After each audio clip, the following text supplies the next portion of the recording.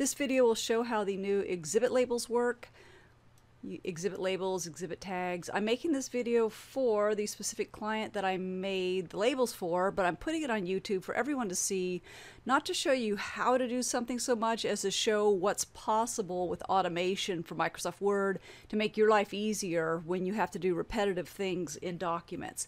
So in this case, I made these exhibit labels and I put them under Quick Docs forms and inserts. I could have put a button anywhere I wanted, but I just dropped the template that I made here in exhibit labels. And the template includes all the programming code. So this form right here is other automation that I'd already made. Anyhow, create doc. This starts the exhibit labels. And so I can, let's say I want to start at number 23 or 232, doesn't really matter. And I want 13 of these, give it a case number.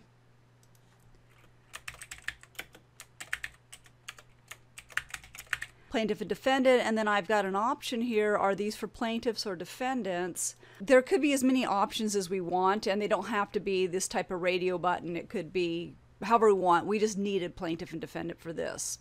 Say OK. Now it's going to take it a few seconds to run because the programming is resizing table cells and inserting the label text again and again, but you can see now it's done a lot faster than if I typed or copied and pasted these myself.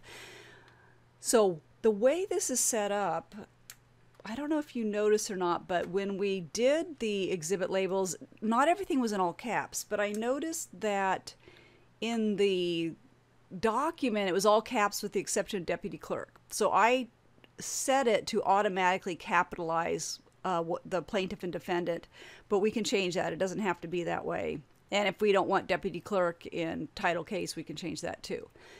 So it's in the document now, and I put it into content controls, which I have mapped to each other, which that means that once this document is created, you can come in here and type anything you want in any one of these content controls, and it will change throughout the document.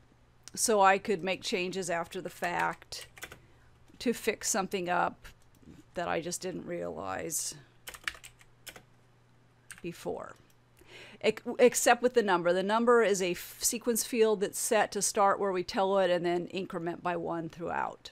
And there you have it. And I think I told it to make 13 of these, so I'm just scrolling and you can see that is how many it made. So there you have the exhibit labels.